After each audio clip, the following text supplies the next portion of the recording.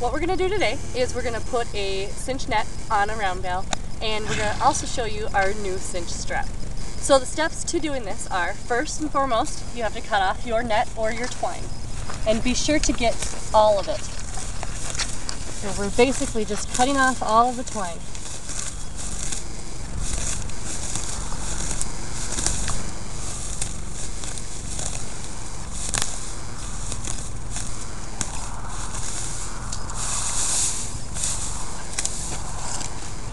We'll remove our net. The old net.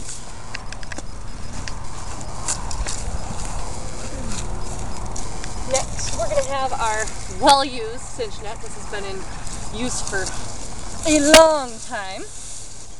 And we're going to place this over the bale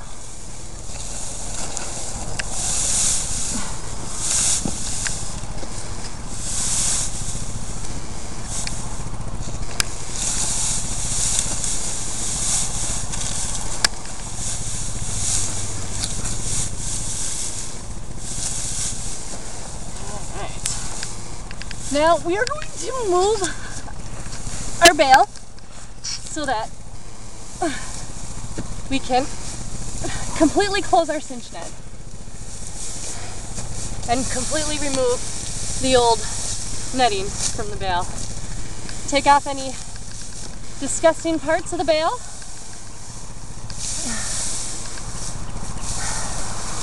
And bring the other end over the top.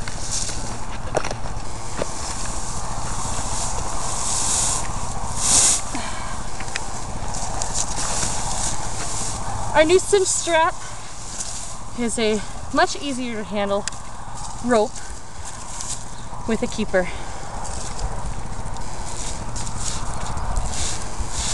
So we're sliding all of our excess through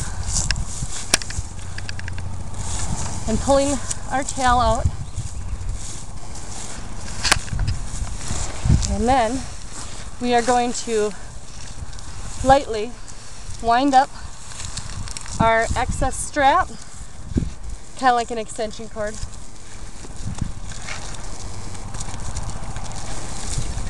And then we're just going to wrap it around for safekeeping. We're going to place this back inside the net.